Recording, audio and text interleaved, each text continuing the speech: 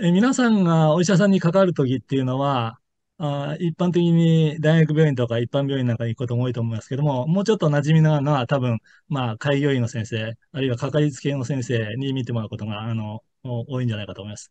えー、医師っていうのは、大別するとね、大きく2つに分けられて、1つはスペシャリストって、まあ、専門医ですね。それからもう1つは、ジェネラリストっていうんですか、まあ、一般医というね、あの、一般的に広い範囲のね、あの、病気を見る、まあ、医師に分かれるわけですけども、まあ、スペシャリストっていうと、お例えば専門的な感染症の専門医だとか、がんの専門医だとか、まあ私のやってる、まあ、外科なんかもね、ある意味ではスペシャリストになるんですけども、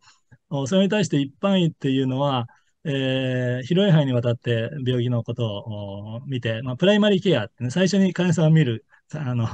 医師っていうのは、あの、ことで、プライマリーケアなんても呼ばれてますけども、おまあ、日本では総合診療医とか家庭医とか、あいうふうに言われてます。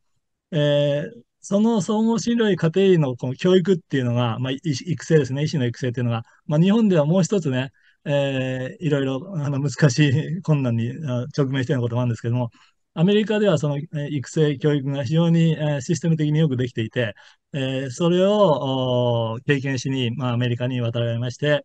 えー、ハワイで、えー、家庭医療科のお研修を受けて、まあ、その後、老年科っていうのの研修も受けまして、しばらくハワイでのクリニックで仕事をされ、ちょうど4年前ですかね、えー、日本に帰国されて、えー、私が今日本で、えー、行っている教育活動のグループの、まあ、家庭医療科の、まあ、いわゆる、うん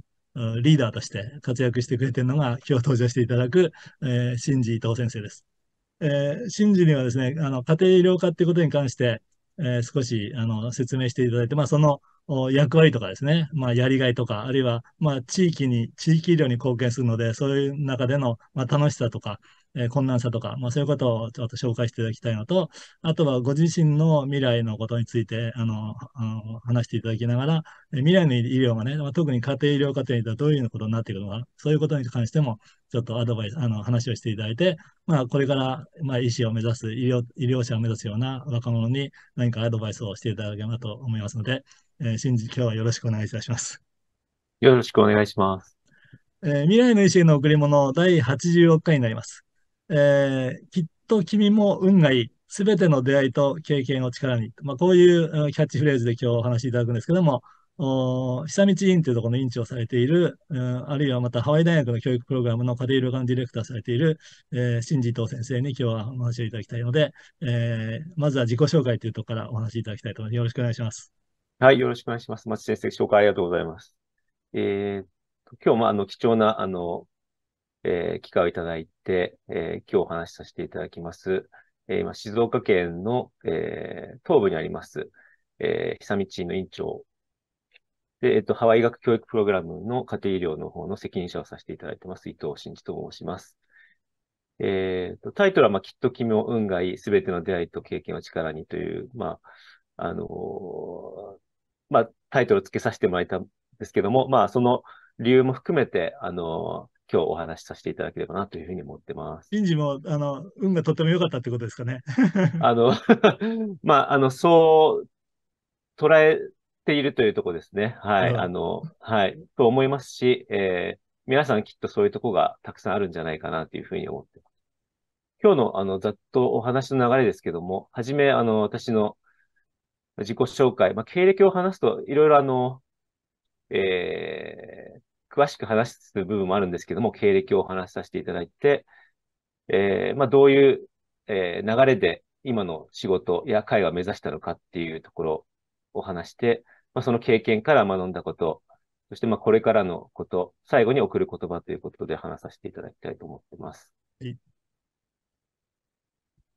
えー、簡単に、あの、皆さん自己紹介してるので、はい、私も自己紹介なんですけども、はい神奈川県横浜市の出身で、ね、今も、はい、横浜市に住んでいます。えー、兄弟は、えー、と、兄と姉と、で、私が一番末っ子になってます。で、えー、両親は、えー、まあ、実家で開業していて、父は、えー、内科医で、母はまあ看護師で、えー、まあ、二人で、えー、始めたクリニックです。で、そこの、えー、まあ、クリニックの上に住んでたっていうような、まあ、よくあるといえばあるんですけども、そう、ね,、いう環境で。私もそうでしたよ。病院の上に住んでた。育ちました。で、まあ、地元の小学校にま通って、まあ、小学校の頃は、まあ、まあ、親忙しいので、えー、まあ、その分習い事をたくさん行ったり、あの、まあ、学習塾行ったり、そして、うん、まあ、えー、もう30年ぐらい前ですけど、まあ、その頃からまあ、電車で塾に通って、中学受験をしてっていうような、まあ、今でもあるような中学受験をして、えー、中学に入りました。まあ一方で、まあ熱中したものは本当に、あのー、普通の 子と一緒で、まあドッジボールして遊んだりとか、まあファミコンの世代なのでファミコンしたりとか、なんか自分でこう、段ボール集めて工作作ったりとか、早いものの、あの、ものを集めて友達と交換したりなんていう、まあ、えー、普通の、えー、子だったと思ってます。そうですね。ドッジボールって懐かしいですね。はい、最近の子はするのかな？あの、今はどうなんですかね。まあ、その当時はもう、休み時間があれば、そうですね、しましたね。すぐもう、あの、ドッジボールコートを書きに行っても、ね、早くご飯を食べて、昼休みはドッジボールするっていうような感じの、あの、男の子でした。はい。で、えっ、ー、と、これがまあ、経歴です。えー、まあ、中学校はですね、えー、神奈川県にあります栄光学園っていうところに、中高一貫の、えー、学校ですけども、えー、そこに入学して、えー、その後はまあ、すんなりと行くわけじゃなくても、浪浪人を1年間しました。で、その後、えー、東北大学の医学部に入学して、えー、5年ですね、えー、卒業後は初期研修で、福岡県、福岡県にあります飯塚病院で初期研修。えー、後期研修は救急部で2年間やってました。まあ、そのあたりでいろいろこう考えて、えー、で、まあ、あの、アメリカを目指そうっていうようなことも考えて、2009年に、えー、まあ、横須、神奈川県横須賀市にある、えー、海軍病院に、え1年間日本人インターンとして勤務して、で、あの、その後、まあ、渡米の、えー、準備をしながら、えー、その後は神奈川県内にあります、訪問診療をやっている、えー、診療、湘南渚診療所というところで、えー、働いて、で、まあ、後で詳しく出てきますけども、えー、ハワイ大学医学部の、えー、家庭医療プロ、あの医療科のレジデントにマッチして、えー、そのまま、あの、老年内科のフェロー、同じ場所で2年間やりました。で、その後は、えー、もうちょっとやっぱり、あの、指導医というか、一般医としての経験を積みたいというふうに思って、えー、ホノルル市内、市内市内にあります、国家カリヒバレーという、えー、と、まあ、医療センターですね。プライマリーケアを主に行う、えー、クリニックで家庭、老年内科医として働いて、えー、2020年、えー、コロナにちょう、コロナが始まるちょうど直前に、えー、帰国して、ね、えー、今に至ってます。っていうのが経歴になってます。はい、ここにある写真はあれですね。みんなそこを経過してきたところの写真です、ね、そうです。あの、右上から、え中学校、高校ですね。で、その下が、えー、大学ですね。うん、で、その下が今の、まあ、新しい病棟になっちゃったんですけども、えー、初期研修を行った病院。で、その下が海軍病院。で、一番右下が、えー、まあ、あの、訪問診療なので、まあ、当時、えー、乗っていたような、あの、訪問の 車ですか？はい。の車です。はい。で、その隣がジャブソンで、ハワイ大学。その隣が、えー、国家カリヒバレになって、一番最後、一番左下が、今勤務しているクイーンになります。はい。はい。えー、まあ、あの、大体この年になると自分の強み弱みなんか聞かれることも多いし、面接なんかでも聞かれることが多いんですけど、まあ、あの、大体ちっちゃい頃が変わってないのかなっていう感じですけど、まあ、ストロングポイント、まあ、長所としては、まあ、よく考えてから行動するのかなっていうところです。で、まあ、なんか、まあ、競争みたいなことでは、まあ、負けず嫌いだし、諦めも悪いのかなっていうところはいいとこかなと思っています。まあ、これ自分で言うというより、まあ、周りから言われるんですけど、まあ、誠実な、あ方らしいです。はい。では、長所。えー、短所は、まあ、あまり、こう、そうですね、あの、先を読みすぎて、考えすぎて、やはり、こう、踏み切れないことも、まあ、あったのかなというふうに思ってます。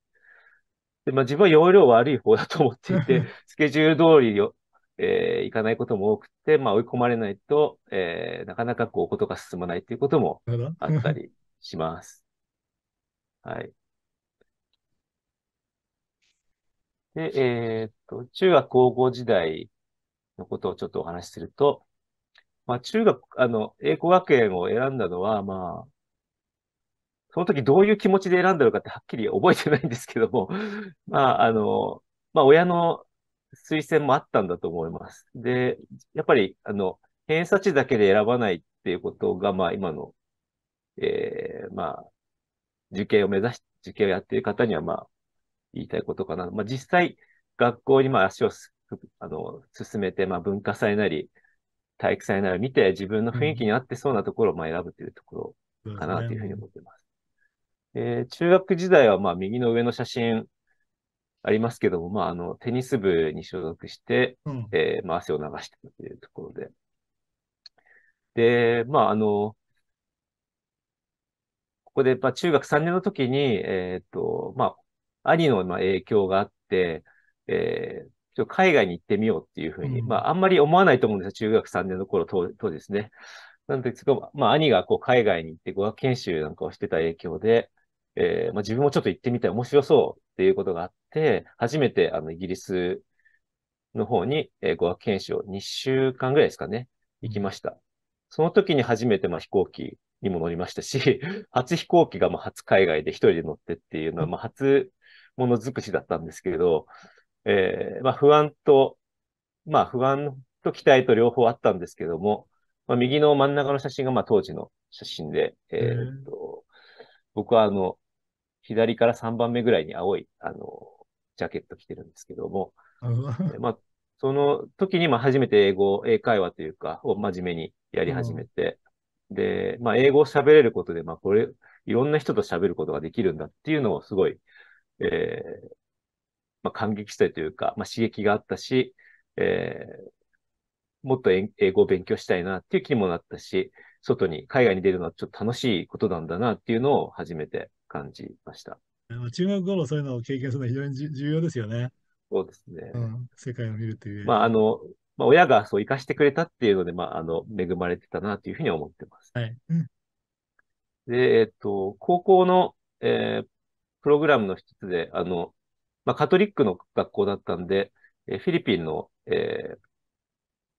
えーと、カトリックの学校と、まあ、あの姉妹校みたいなことで、でフィリピンに、えー、ホームステイに行かせていただく機会があって、一週間ぐらいだったんですけども、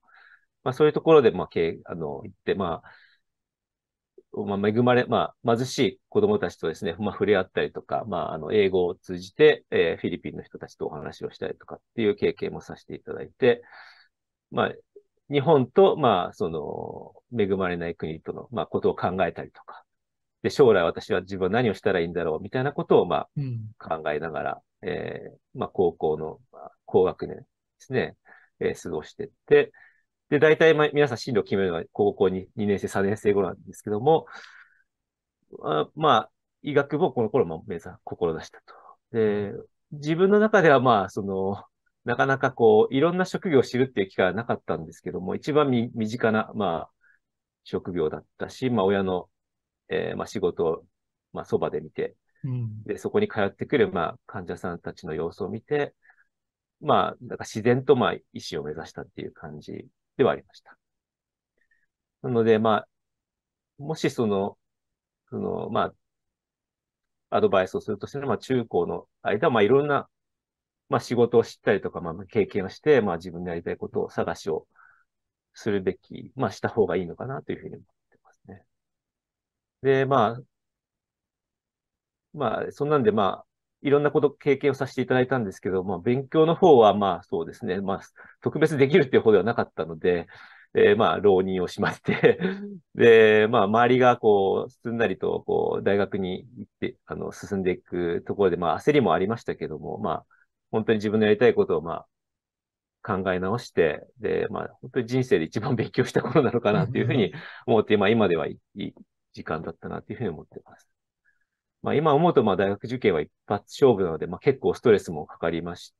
た。まあ、ただ一方で、まあ、みんな公平な、まあ、チャンスなので、まあ、それはいいことなのかなというふうに思いますけど。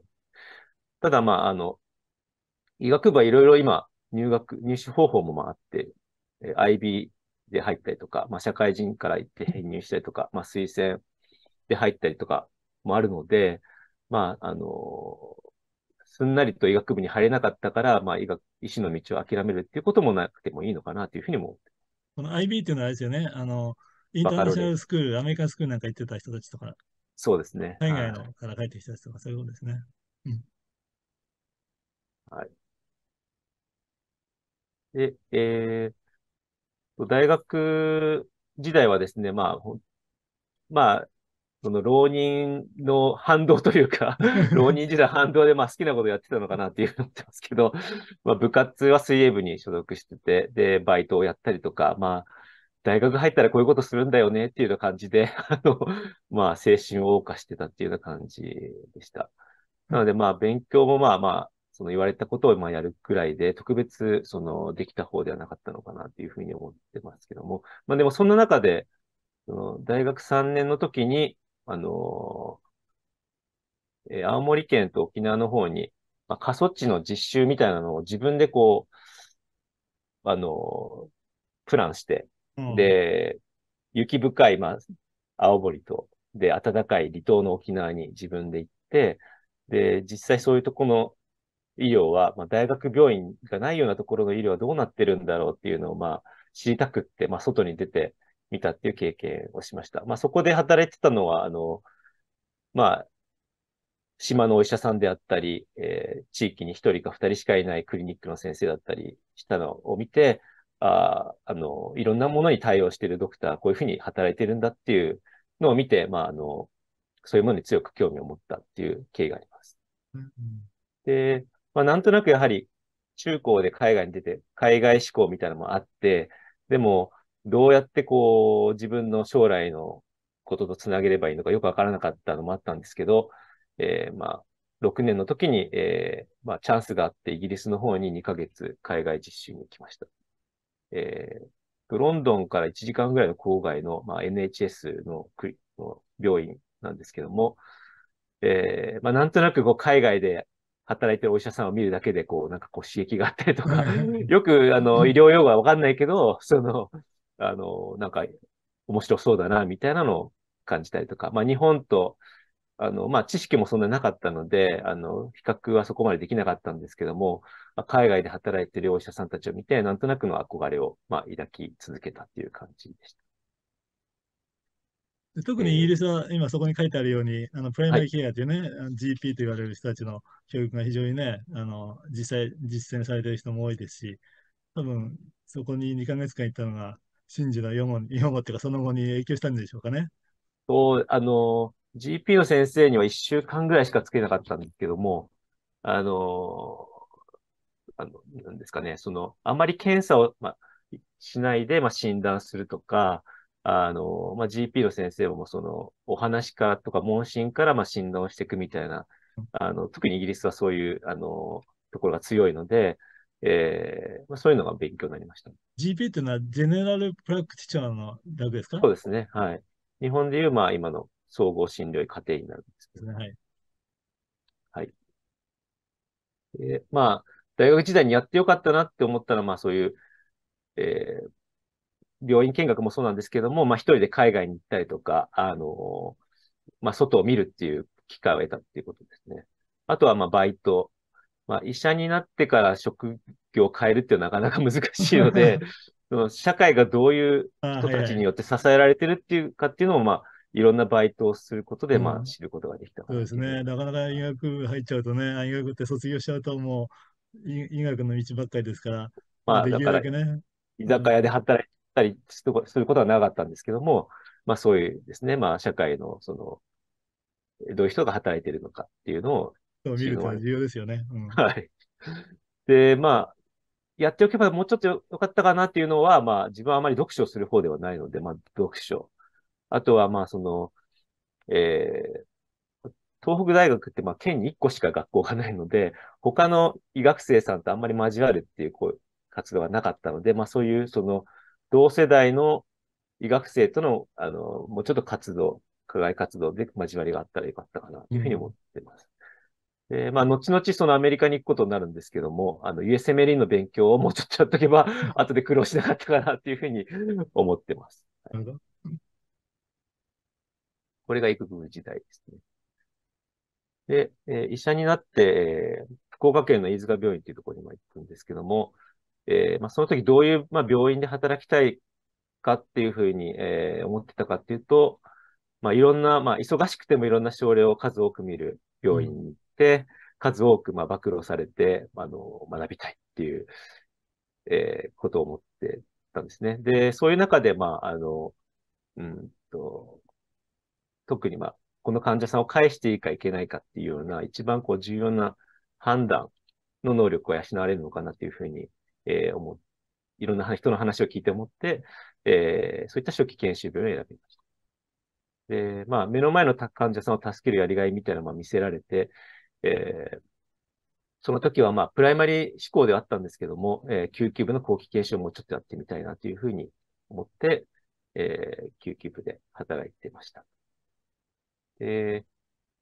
えー、まあ、特に研修時代は同期に非常に恵まれて、同じようにやっぱり海外を見ながら海外に行った、えー、同期がいて、まあ僕も含めてですけど、15人いた中で5人も海外で臨床医として、多いですよね。うん、はい。いまして。で、あとまあ恵まれてたのが、まあ、病院が、あの、ちょうど私が研修医として入った時から、UPMC は、まあ、ピッツバーグの、えーえー、大学ですけども、えー、そこから、あの、外国人医師の方が、えー、来ていただいて、いろいろな教育活動をしてくれたと。まあ、ここで初めて、その、アメリカのお医者さんの教育に触れたっていうところですね。はい。というので刺激を受けました。えー、まあ、右上が、まあ、同期の写真で、右下が、まあ、その、えー、UPMC から来たお医者さんたちと、真ん中ですね、はい。の歓迎会みたいな感じで。なるほど。はい。で、まあ、その頃から、まあ、自分はどういう、まあ、専門に行きたいんだろうみたいなことを、まあ、振り返りながら考えて、これは、あの、えー、沖縄県立中病院のあの、寺澤先生のレクチャーの時に、えー、参考に、非常に参考になった、まあ、あの、ジェネラリストについての、あの、お話があって、それを、まあ、あの、参考にししていただいたとなんですけども、まあ、もともと家庭医みたいなものを目指してたんですけど、まあ、その頃は ER の方に、あの、ものを、その、見せられてやってたんだけど、まあ、結局、カバーする領域っていうのは結構被ってたりとか、それが急性期か慢性期か、外来か病棟かの違いであって、うん、まあ、あまり、その、なんだろう、その、まあ、その時その時に、えー、よって、まあ、自分のその役目を変えればいいだけであるみたいな話だったんですけども、なので私はその ER で働いてたですが、まあ、えー、やはりまあ、もともと興味を持ってた、持っていた家庭にまあ戻っていくっていうイメージなんだなというふうに自分で、えー、解釈をしてました。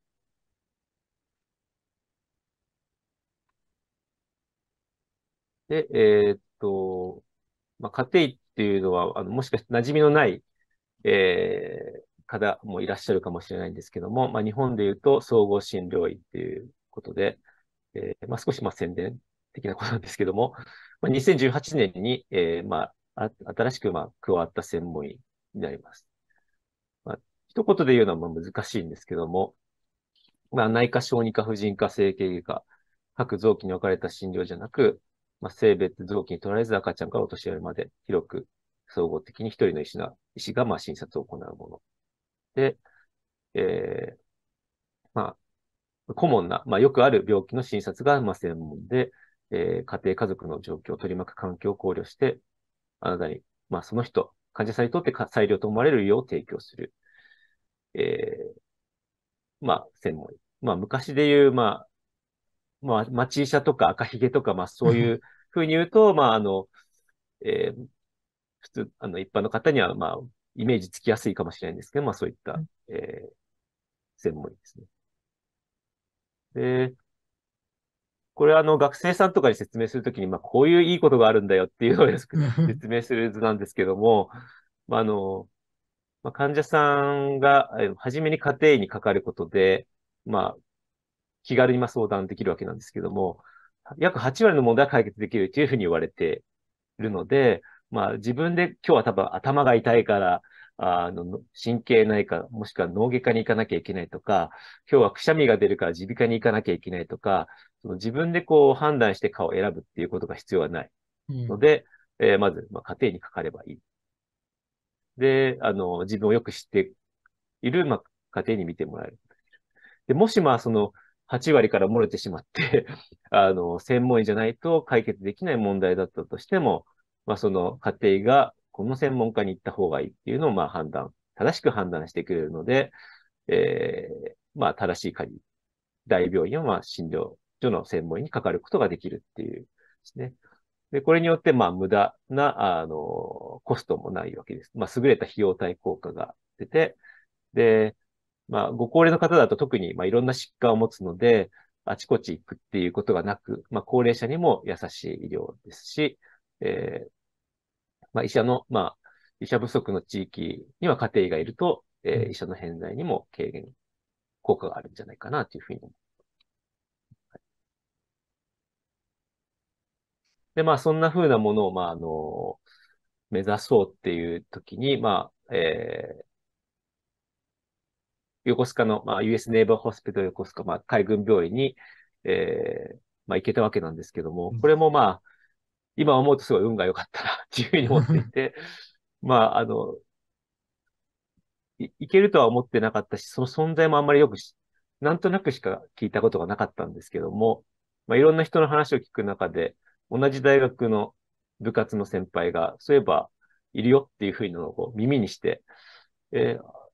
で、その先輩が、あの、同じ研修病院の先輩だったんですね。なので、あ、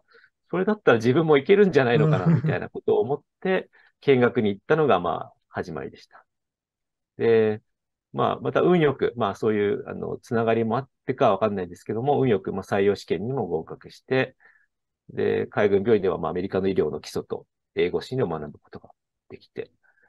で、なかなか初期研修、後期研修の忙しい中は USMLE のアメリカの国家試験の勉強もできなかったので、その頃からもう猛勉強したんですね。で、これ、町先生に言うとあんまりこう、あの、怒られちゃうかもしれないですけども、だいたい1年ぐらいで、あの、USML を全部 取ったんですね。そうですね。あの、2000、まあ、4月から始めて、まあ、9月ぐらいに、ステップ1と、翌年の1月に、えー、っと、ステップ 2CK っていうので、で、今、あの、コロナでないですけど、ステップ CK、あの CS っていう、まあ、医療面接の受験をアメリカで受けて、うん、で、マッチングが始まる前、直前に、まあ、ステップ3を受けてっていうような風にやってました。あなるほど、すごいですね。このあ自分は、まあ、追い追い込んでというか あそうかなるほど。追い込んでやるタイプだったので、まあ、あの、もうそこしか勉強する時間がないっていう風な気持ちで、まあ、やったっていう感じでしたけども、まあ、運よく、まあ、結果論ですけど、運よく、まあ、あの、合格したし、マッチもできたっていうところなんですよね。なので。あの、介護病院結構競争激しいですもんね。あの、ね、私はあの、アメリカ行く前、やっぱり挑戦したけど、落ちました。あなので、あの、本当にこう、よく、後先考えてたのかなっていうぐらい、あの、運よく行って、まあ、まあ、スケジュールを結構急いだので、まあ、成績を犠牲にした部分もあるので、あんまりお勧めできる ものじゃないなっていうふうには、みんなにいっぱい言ってます。はい。なので、まあ、あの、学生時代にもうちょっと勉強し、まあ、ステップ1とかやって、まあ、合格してれば随分楽だったろうし、っていうのは今でも。えー、で、まあ、その後、あの、渡米までは、あの、時間が普通できるんですけども、えー、まあ、その間、あの、縁があって、まあ、訪問診療のクリニックで、えー、働かせていただいて、まあ、その、渡米の前に日本の現状のことをよく知ることができたかなで、それもあって、まあ、老年医学を後々考えるきっかけに気にもなったっていうふうなことですね。で、右は、えっ、と、当時の写真ですけども。はい。この一番下の、はい。あの、なんかみんなで何か、これは、まあ、あの、ねえー、グラジュエーションの時の、ああ、なるほど。時で、まあ、ちょっと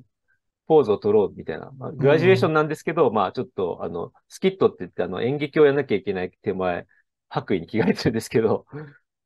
それであの、ポーズを取ろうっていうふうに。ね。はい。で、あの、この写真で写ってる、えー、真ん中の写真で言うと一番右のドクターは今ハワイにいるんですよ。あ、そうですか。町先生も。町先生もその、アンディ飯塚先ああ、生。はいはい、飯塚先生。で、まあだ。当時その海軍病院の指導医だったんですけえども、えまあ縁が、まあ家庭医ですよ。なので。まあそういう、えー飯塚先生のかあの仕事ぶりを見てましたし、まあ縁があって、私がハワイに先に行ったんですけども、その後も、まあ、あの、いろんな、ハワイに行ってからもうお仕事の話を聞いたりとか、ね、うん。えーまあ家族ぐるみで、はい。よかったですね。あの、ハワイでね、ストラーブでしたっけね、クリニックで働いはい、てたの。そうです。うんで、えっと、ハワイでの様子ですけども、まあ、ファミリーメディシンレジデントとまして働いて、えーやっぱり大変だったですよね。やっぱり英語の壁があったり、初めの1、2ヶ月は、その、周りの話についていくのが大変だし、何をこうサインアウトしてるのかもわからなかったし、で、ディクテーションをしなきゃいけないっていう、その、退院サマリーとかですね、入院、入院時のカルテ書きなんかもやっぱり苦労したし、とにかくは、やっぱ、こう、自分ダメだな、みたいな、そんな ネガティブにやっぱなってしまったんですけども、まあ、あの、できることから、まあ、コツコツとというか、感じで、まあ、えーまあ、周りから学んで、で、日本人のレジデントの、あの、先生もいたので、そういう先生がアドバイスをもらって、まあ、やってったっていうところですね。みんな最初はそうですよね。日本はいで相当べ米語英語できたなと思ってても、ひアメリカに来てね、この実際患者さん見始めると相当落ち込みますよね。そうですね。なので、あの、苦労しました。で、まあ、プレ、まあ、聞くのも難しいし、そのプレゼンテーションのスキルっていうか、まあ、どういう患者さんが来て、こういう、こう、こう、こう、こう、こうだからこうしたいっていうのも、意見も、あの、しっかり言わないといけないので、そこもやっぱり苦労して、えー、まあ、繰り返し繰り返し、えー、やるっていう感じで、まあ、克服していきましたけども、大体まあ、半年から一、一まあ、一年、まあ一年目はそうずっと苦労してやったっていう感じですよね。はい。で、あとまあ、日本で働いててアメリカに行ってびっ、まあびっくりしたっていうかあれですけど、あの、日本はどっちかというと残って仕事をしてなんぼみたいなところがありますけど、アメリカだと残って仕事をするのは能力が低い人のやることだみたいな感じなので、まあきちっと時間内に終わら、仕事を終わらせて帰るっていうところが、あの、まあ重視されてたので、あの、まあ、その、早く仕事を正確にするっていうところも、やっぱり大変だったかなっていうふうに思ってます。まあ、一方で、まあ、えーしっかりオンオフはしっかりしてたので、まあ、家族の時間は、あの、取れたし、えーまあ、あの、えー実はその、えーまあ、研修の最後には、まあ、家族が増えて っていうことにも、まあ、一応、その、周りの理解があって、えーちゃんと過ごすことができるぐらい、あの、まあ、家族への、まあ、家族が大事っていうような、あの、雰囲気の中で研修ができたかなっていうふうに。まあそれ、アメリカなんか確かそうですよね。まあ今日本で働き方改革とかね、いろいろこれから言われて始まるんですけども、まあアメリカはその辺はね、しっかりオンオフがしっかりしててね、ちゃんと研修医のその労働時間とかなんかもね、決まってますから、そういう面では、まあいいシステムなのかなと思いますけどね。そうですね。で、まあ、家庭医のレジデントが終わると、まあ、そのまま働き出す人とか、まあ、クリニックで働く人、ホスピタリストに働で働く人、まあ、いろいろいるんですけども、私の場合は、まあ、もうちょっと高齢者との向き合い方を学びたいっていうふうに、まあ、日本の経験、まあ、アメリカでの経験を通して思ったので、えーまあ、ハワイ大学の、えージェリアトリックメディシンのフェローになって、なりました。で、この時もまあ、はい、老年医学ですね。で、この時も実はあの、あの、あんまり締め切りを実は知らなくて、のほほんとあの、生活してたんですけども、そしたらあの、友人からあの、あもう今週中に締め切りだけど大丈夫みたいな 教えてもらって、でギリギリまあ間に合ってっていうようなことがありました。はいはい。で、これがあの、えー右の上はまあそのレジデントの時の写真で、えー真ん中はそのグラジュエーションの時の写真。そうですね。はい。で、右下はあの、老年内科の、あの、デパートメントのトップの、まあ、ドクター・マサキとの学会発表の時のあ写真なるほど。下はその、えー当時のフェローとの写真。ハワイ大学はね、あの、家庭医療型ともに、老年医療が結構ね、あの、アメリカの中でも、あの、えートップの方に入ってて、大変進んでるので、本当にいいところで研修されちゃうんじゃないかなと思いますね。うん。で、あの、大体その、アメリカで、えーレジデントをする方っていうのは、その、フェロー終わると、まあ、帰国しなきゃいけないっていう、帰国するか、まあ、残るかっていう、まあ、選択を、まあ、するわけなんですけども、うん私の場合は、その、残るっていう、まあ、選択をしよう、選択を取って、まあ、その理由は、まあ、やっぱり、研修医の立場で仕事をしてると、結局、後ろに指導医がいて、うん 守ってくれるっていうような、あの、感覚があったので、自分で仕事をし、けつ、あの、判断をして自分でこう、治療して、その、えーまあ、せある意味責任を取るっていうところまでやり、やってみたいっていうふうに思って、えーまあ、縁があって国学カリヒバレーという、あの、クリニックで働くことになりました。これはあの、ホノル、あの、オアフ島にも何箇所かあるですね、あの、フェデラリー・クオリファイド・ヘルス・センターっていう、まあ、あの、まあ、貧しくって、あの、医療アクセスが、あの、あまりない方が集まるクリニック、えーでして、まあ、えーまあ、メディカリー・アンダーサーブド・ポピュレーション、まあ、その貧しいですね、うん。貧困の方々が来る、主に来る、えークリニックっていうふうに位置づけされてます。移民の方がまあ多くて、いろんな人種文化、えーがある、の方が来るんですけども、まあ、そこで、えーまあ、外来診療と、あと老年医として、まあ、日照外来、えーあとは、その、通院できなくなってしまった方の、まあ、在宅医療っていうのも週1回やってました。でここでの経験はすごい貴重だと思っていて、えーまあその、まあ恵まれないアンダーサーブドの方を助けよう、まあ助けようというか、まあ、というミッションがある中で、まあ使命感を持って働いている、まあ同期というか、えースタッフの方々と働いた時間とても、あの、まあ、む、困難なケース多いんですけど、まあ、なんだ、充実感というか、あの、達成感もあるし、使命感も感じたし、えーそれでいて、まあ、あの、なんだろう、まあ、ここまでストレスを、まあ、ストレスもありますけども、お互いがケアをしてっていう感じで、えーまあ、チームワークだったり、そこで働く誇りだったり、えーっていうことを感じて、まあ、とても、あの、毎日が感謝っていう感じなあ働き場でした。えー右は、あの、右上はその建物なんですけども、えー右の2番目は私がこう、診察して、実はこれあの、えー診察してる間は、間通訳の、えー方で、で、これはあの、えーコマーシャルを撮りに、撮らせてくださいっていうことで、あの、えー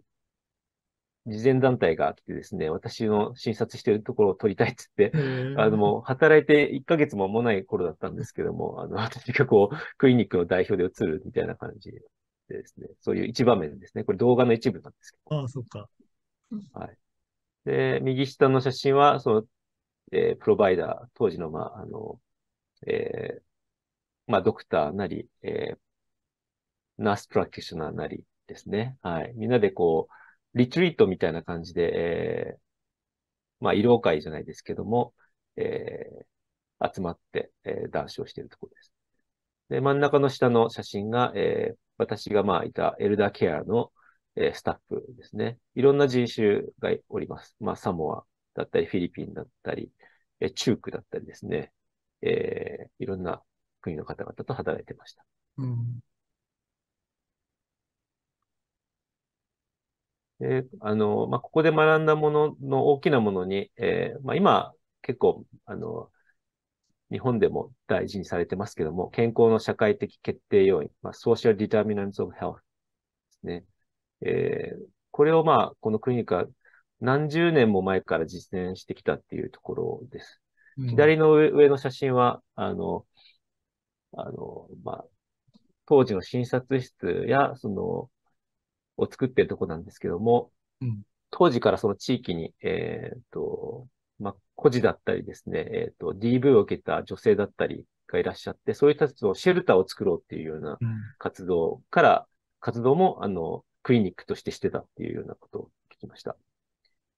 で、えー、で、右の写真は、えー、このクリニックが、えー、広大な土地を所有してるんですけども、えー、ホールアイ、ホールアイナっていうんですけども、そこで、えー、まあ、作物を育てて、えー、まあ、それをどうや、どういうふうに、まあ、えー、土地から作物が取れて、えー、食卓に至るかっていうのを、まあ、今の知らない子供たちもいると。まあ、そういう人たちに、まあ、えー、指導している写真ですね。うん、で、右の真ん中の自転車の写真は、これ、あの、えー、クリニックが所有する自転車部みたいなのがあるんですけども、僕はあの、えー、まあ、えー、まあ、使い古した、まあ、中古のバイクとかを直して、で、まあ、ティーネイジャー、まあ、子供に、こう、所有、一台所有させるんですね。で、まあ、直して使うっていう、まあ、責任感と、あとは、その、地域の子供たちが学校終わるとやることがなかったりするので、そこでここに来てもらって、まあ、その、大人の仕事を見たりとかですね、うん、えー、まあ、チームワークを磨いたりっていうようなことを、えー、する自転車部っていうのがあります。右下は、えー、これはクリニックの中にあるソーイングクラス。まあ、裁縫をするクラスなんですけども、移民の方々はその手に職を持ってない方が多いので、うん、裁縫の、まあ、あのー、スキルをこう、教えて、で、自分の家でこう作って、それをお金にして稼ぐっていうのも教えてるっていうような感じ。で、下の真ん中の写真はこれ、高齢の方が、まあ、みんな集まって運動してるんですけども、まあ、今でいう、まあ、日本でいうデイサービスのリハビリみたいなことを、クリニックの地下のスペースを使って、えー、地域の住民を集めてやってるっていう。で、左下は、えー、クリニックの中にあるカフェなんですけども、あの、地元で取れる、あの、食材を使って料理をして、まあ、簡単に言うと食育みたいなこと、まあ、こういう料理を、えー、がヘルシーなフードなんですよっていうようなことを提供しながら、えー、伝えるっていうような部署になります。そういうなこと、まあ、いろんなことやってて。医療っていうよりも、医療プラス、まあ、そう社会的ないろんな活動に貢献したり、支援したりそうですね。あの、うん、診療室の中だけでは治せない、まあ、健康を脅かす社会的な理由に、理由を、まあ、こう、理解して、そこに手を伸ばすというところで、まあ、地域を知っているから、まあ、こういうことが大事だっていうふうに考えて、ずっと、こう、活動しているクリニックって感じですね。うん、そういうのまあ。地域医療っていうのはね、日本は、アメリカでもそうですけども、日本でもね、都会志向が多くて、地域行くとね、困る人が多かったりとか、えー、そういう面では、地域医療っていうのはこういうところまでね、しなきゃいけないっていうか、するのが一つの使命でもあるし、えー、あの、ドクターことっていうのがあったじゃないですか。はい。あんなのを見るとね、本当に、えー、本当地域の人たちとね、一緒になんか、生活してるなって、社会貢献してるなっていう感じがあのありますもんね。そうですね。なので、その診療室の外に出て行っているっていうのを見て、えー、まあ、その大大切さを知ったっていうことですし、まあ、あと、まあ、そういうハワイの一面を知ったっていうところもあってうん、あの、皆さんがこう、テレビで見るのは、まあ、ハワイイコールワイキキみたいなところありますけど、そう、ねはい、そういうんじゃないっていうところも非常にこう勉強になったっていう、うん、移民の非常に多い、あの、州だなっていうところを感じました。で、この、まあ、海外での経験を通して、あの、まあ、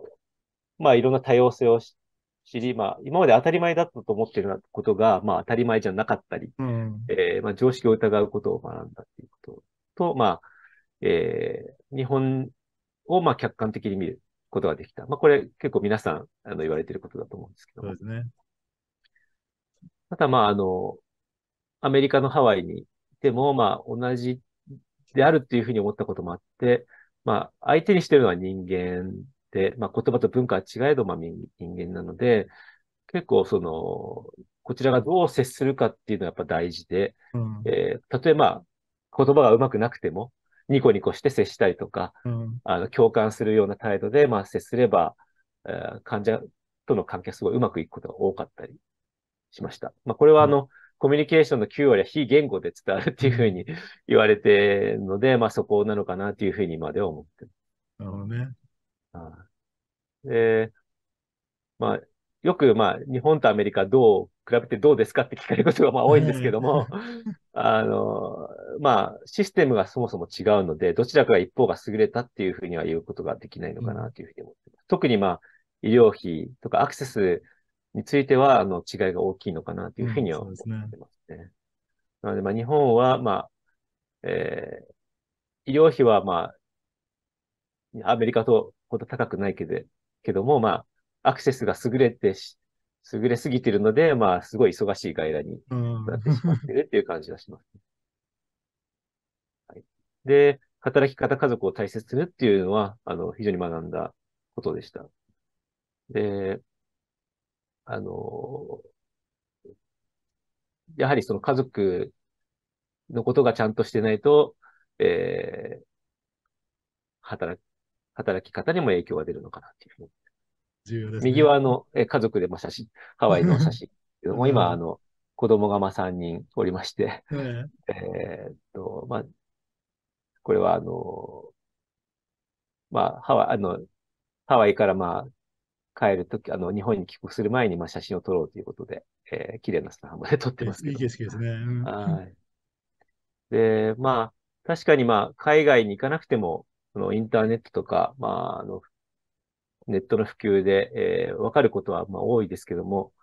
まあ、山に登った人にしかその、あの、景色を味わえないというような ところもあって、まあ、やっぱり行ってみないとわからないことは多いので、えー、まあ、短期間でも、まあ、海外にことは、あの、有意義なことなんじゃないかなというふうに思ってます。同感です。はい。で、えー、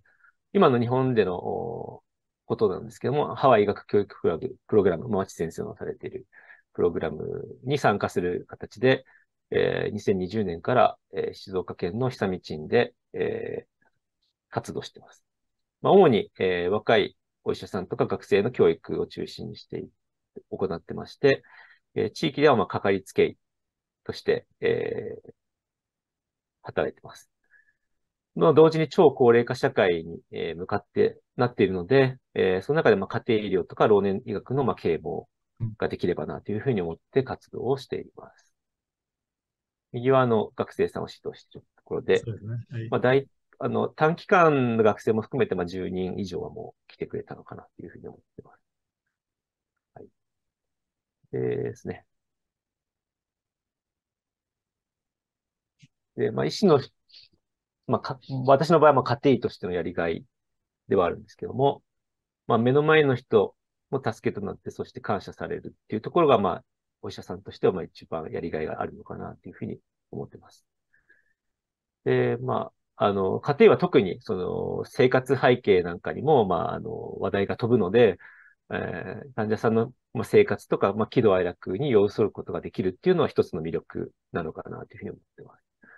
なので、まあ、あ健康に関係なさそうなことでも、まあ、あの、患者さん、こんなこと相談していいんですかね っていうふうなこともよくあるんですけど、まあ、そういったことにも、あの、興味を持って相談に乗れるっていうのが一つの、えー、やりがいかなというふうにえー、あとは、まあ、私は、まあ、救急のバックグラウンドが少しあるんですけども、まあ、あの、どんな時もお医者さんがいますかって 言われた時に、まあ、手を挙げられるような医者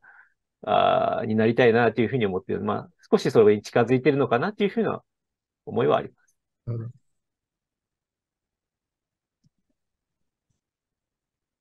で、えー、っと、医師として必要なもの。まあ、これはあの、私が感覚的に思うことで、あの、えー、多分、えー、研医師としての研修とかね、その、six competencies とか比べると、あの、立派なものじゃないんですけども、まあ、医師としてもやっぱり相手の気持ちを、まあ、想像するとかですね、生活を想像する想像力、あとはまあ、その喜怒哀楽とかに寄り添う心、共感力。あとやっぱりこう、えー、うまくいかないこともあります。すんなりこう、症状が改善しないこともありますので、まあ、忍耐力、粘り強さ。それやっぱり体力も必要かなと思ってます。あとやっぱりその、えー、まあ、少しでも患者さんが、えー受診してよかったなっていうふうに思えるように、まあ、笑顔で接したりとか、時にはユーモアが必要なのかなっていうふうに思って。で、まあ、あの、以前はその、僕はぶ物理が、数学が得意だから、医学部に行こうかな、みたいなこともありましたけども、まあ、理系の職業というわけではないっていうことを、まあの、言いたいですし、ただ、あその中で、まあ、特に必要なのはコミュニケーション能力なのかな、ですね。で将来を目指すティーンエイジャーには、まあ、私があまりできなかった読書 と、まあ、あの、今もまあ、そういう時代ですけども、英語、あと、まあ、旅行とかに行って、まあ、いろんなあ人との交流をして、えーまあ、視野を広く持っていただきたいな、というふうに思ってうん、それ大切ですよね。本当に、金井さんのはいろんなね、バックグラウンドの人、いろんな考え方の人いますから、そういうのを人たちに共感したり、理解したり、あるいは想像したりするのには、こういうね、若い頃の経験というのは非常にね、重要じゃないかと思うんですよね。で、まあ、今後の医療はどうなるっていうの、なかなかこう、難しいけども、間違いなく言えるのは、まあ、専門家だ、専門の、あの、医学知識、技術の進歩は起こるだろうというふうに思ってます。まあ、その中で、あの、複雑化する中で、まあ、全体を見渡せる医師、まあ、総合診療医が、ますます必要になってくるんじゃないかなというふうに思ってます。あとは、まあ、その医療費がますます増えてますので、うんコストの意識っていうのは、まあ、あの、私はアメリカの時に随分この味わわされたんですけども、コストの意識が非常に大事なのかな。あの、患者さんにとってのコストの意識っていう意味で大事なのかなと。で、まあ、AI が、あの、まあ、進んでいくとこですけども、まあ、その中でも、まあ、想像したり、感性だったり、えーまあ、複雑な判断、人間とのコミュニケーションは、まあ、AI にはちょっと難しい分野というふうに言われているので、まあ、淘汰されないのかなというふうに思っています。えーまあ、超高齢化が起きていて、まあ、複雑なし、あの、まあ、たくさん疾患を抱えてて、問題が複雑化している、まあ、高齢者の方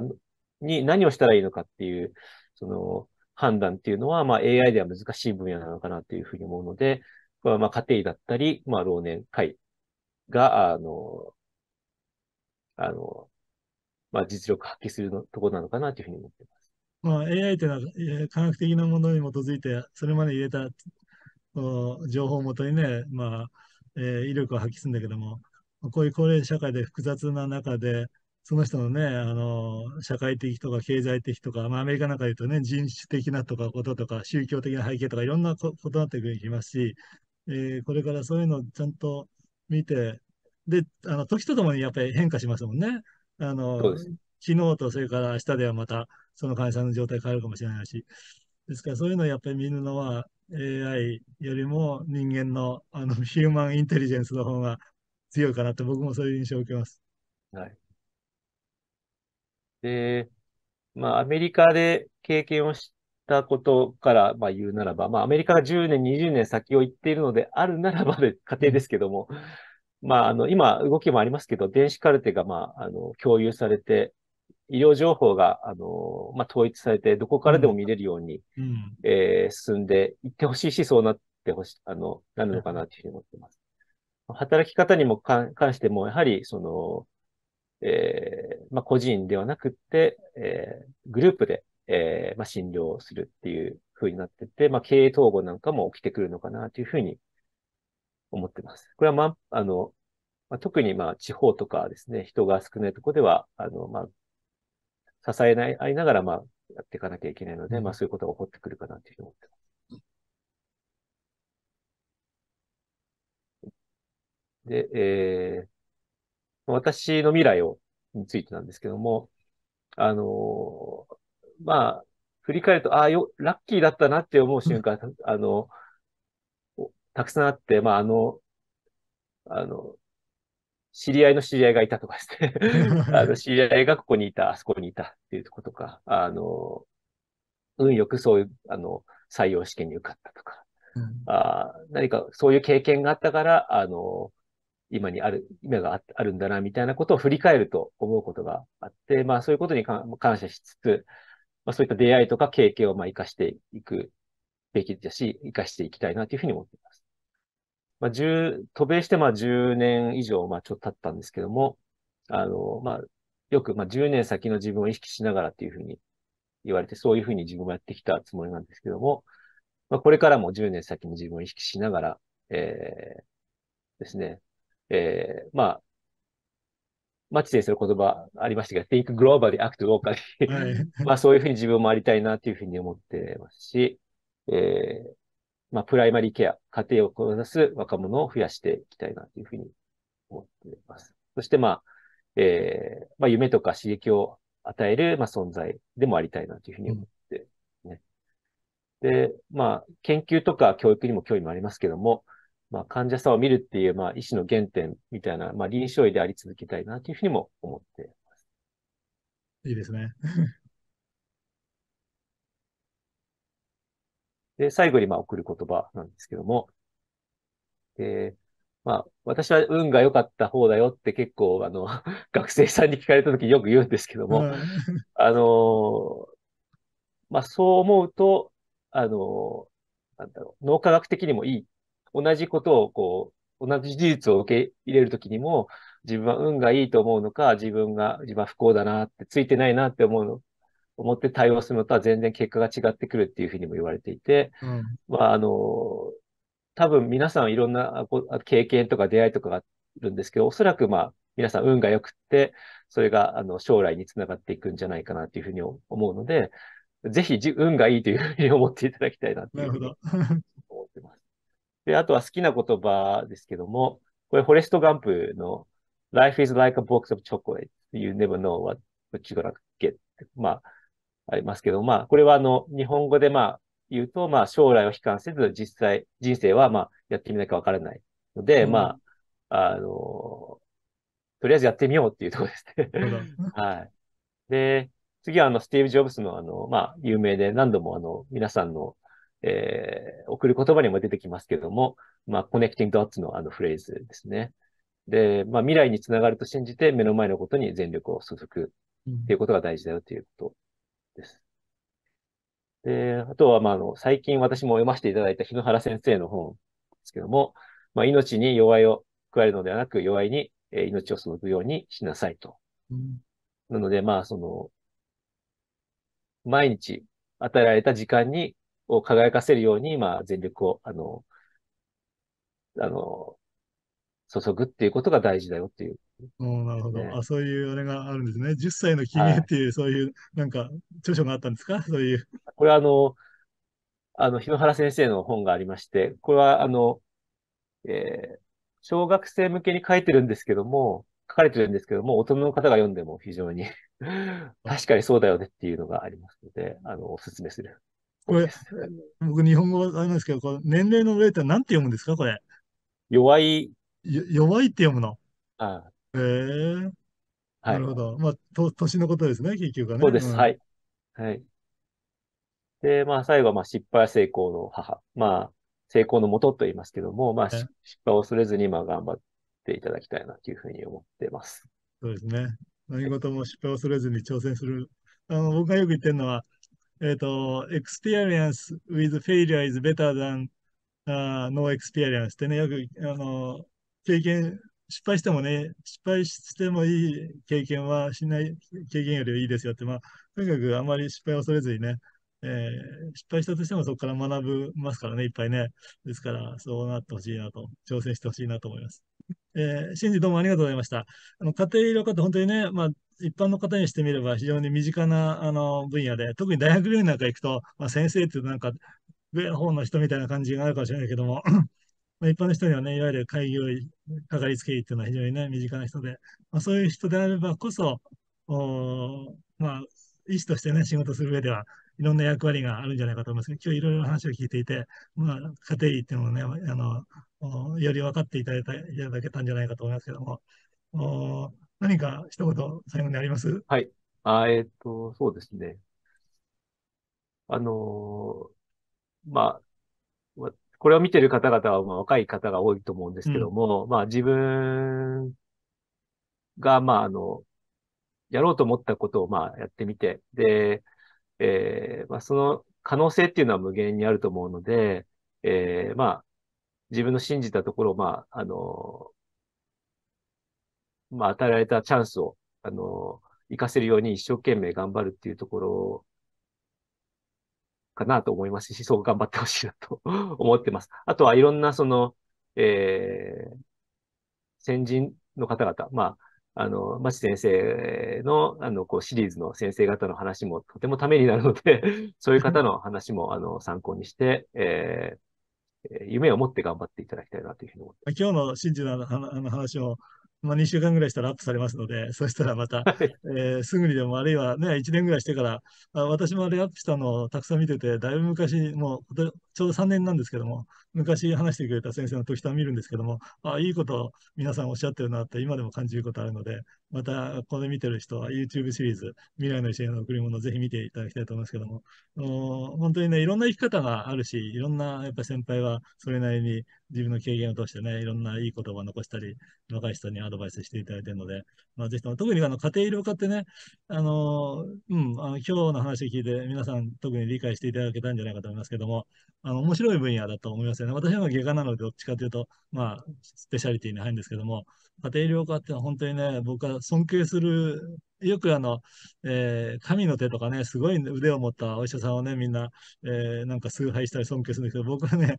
家庭医療の人たちは本当に偉いなと、偉いなって言うと言い方変ですけども、素晴らしいなと思いますので、まあ、こういう分野もありますから、これからね、まあ、中高生で医師を目指している人も、あるいは、えー、医学部の人たち人たちも、まあ、こういう分野にね、興味を持って、より多くの人がね、えー、いわゆるかかりつけの先生になってくるといいなと思います。うんで、どうも、あの、あの、シンジはもうハワイのことはね、この、よく知ってると思うので、また、あの、最近来てないから、はい、そうですね。ね、コロナでずっと来れてなかったと思いますけど、またぜひ遊びに来てください。はい、ぜひ、あの、はい、行きたいです。よろしく、また、今後とも、はい、あの、ご指導よろしくお願いします。よろしくお願いします。失礼します。